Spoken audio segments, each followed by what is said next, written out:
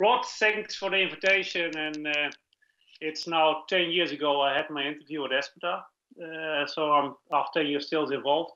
At the back, you see uh, one of the weekends we had in, I think, the beginning of 2012, one of these desert trips. trips. I'm now back in Holland and now I'm visiting uh. And thanks for the invitation. I'm going to tell you something about return to performance after hamstring injury. Salam alaikum. So good afternoon, good night for everybody who's listening. We're going to focus on return to running performance after an acute hamstring injury.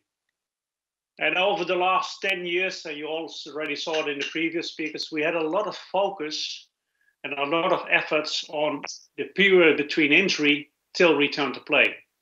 And especially in team sport, return to play is the first team training. I think over the last 10 years, there were 15 randomized controlled trials published, 100 studies. And also, when you look at Aspetar, two RCT completed and 20 studies. However, it all stops at return to play. And when you work in the field, so I work now at a club, you recognize that there's almost nothing known about the period between team, team training and return to performance. And over the upcoming five till 10 minutes, I'm going to focus on the period between return to play and return to performance. Because there are only four studies published on this uh, return to performance. So this is one study. It's from a chap from Australia. His name is Rodney Whiteley. I think it's Rod, yeah, with his team from Australia. They did a really, really nice study in Australian football. They showed that about 50% have a reduced high speed running distance decrease after return to play. So the running distance is decreased. Another study from Spain, from Mendiguchia, where they did it in real football, so in soccer, and they found out that sprinting performance is reduced just after return to play. So players are back on the field, and they found out that sprinting is decreased performance. So when you're working at a club and you read this paper, you said, okay, decreased running and sprinting performance. And the question arises, should I, should we change our clinical practice based on these studies? And we also had the same question at our club in Amsterdam. And we asked us the question, when is return to match performance reached? And I'm going to show you some data we collected over the last three years.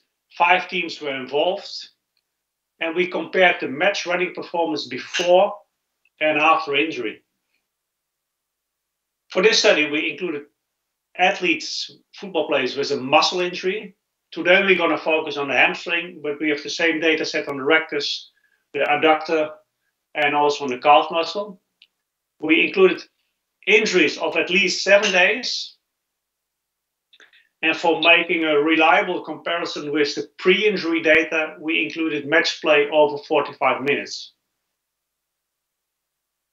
And around the world, and also in Amsterdam, we use two systems. That's a local system, it's a little bit more reliable. You can also measure deceleration, acceleration, and a global system.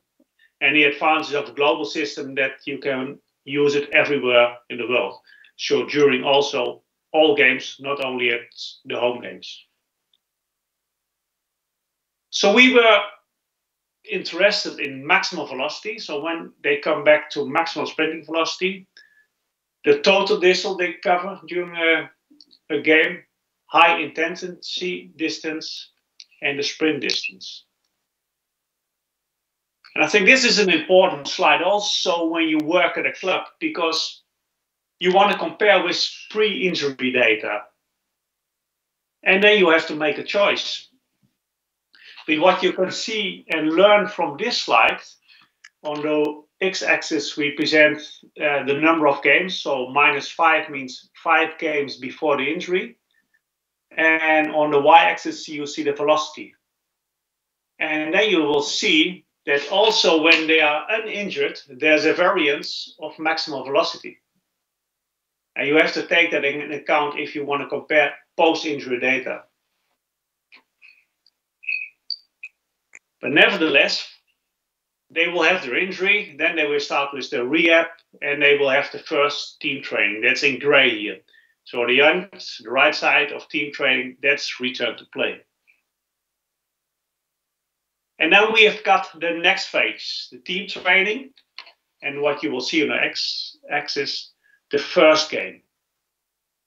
And the dotted red lines, it's a little bit technical, these also present the error of your system. So we can measure, for example, a speed of 34 km an hour, but we know there's an error. So we have to estimate it between 35 and 33 km hours. So that's the limitation you have with these GPS systems. But nevertheless, you can use it in your own club if you also use GPS. So that's a little bit more the technical background. And when you work in the field, you're always interested in what are the results. And I'm going to show you the results now. And these results are new and maybe even a little bit different from what is already known. So pay attention. The first one is the maximal sprinting velocity. And what you see here on the y-axis is the number of games after return to play. So one represents the first game after return to play, two represents the second game after return to play. And what can you learn from this slide? 83%, I repeat, 83% return to maximal sprinting velocity in the first or second game, and 50% even in the first game. The second parameter, Again, on the y-axis, the number of matches after return to play. And here, all players returned to the normal total distance in the first game. So total distance, you can expect that they can reach it already in the first game. The third one, the high intensity distance. And over here you see the velocity. And also the 89% return to high intensity distance in the first or second game.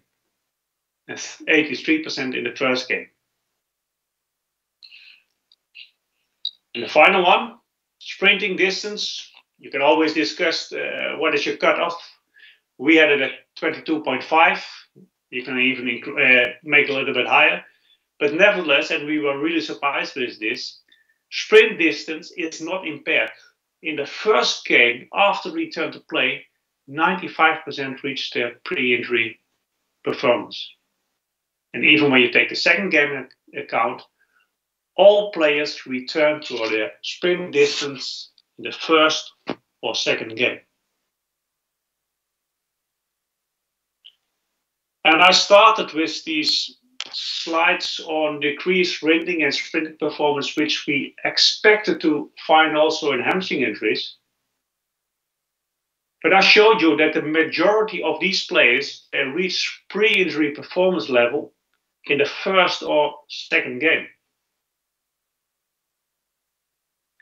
And you, when you work in clinical practice, like I do, one head with a research head and one head Uh, clinical practice. Should these findings change your clinical practice? And the answer is very simple yes, it should.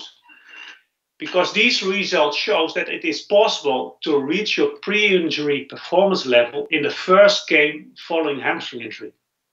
I repeat, it's possible to reach a pre-injury performance level already in the first game after hamstring injury. So that's a clear and very important message if you're dealing on a daily basis with athletes and you've got access to GPS. So this is with my clinical or with my practical head. Now with my research head, I would always say, yes, it's correct, but be aware, all research on return to performance, we have just started with it. And there's almost nothing done. And it's a very, very important field to study. So what is next? I think the next focus, and I touched it a little bit, but the next focus is also to have a look at the period between return to team training, what we call return to uh, play in most studies, and the period before till return to performance. Because there's a lot of things happening, number of training, number of partial games between return to team training and return to performance.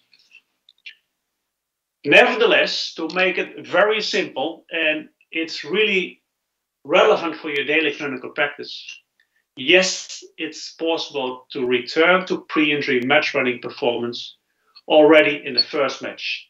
And I think when you work on a daily practice, the focus should be on this, and we should develop more research on the period just before the first match. Thank you very much.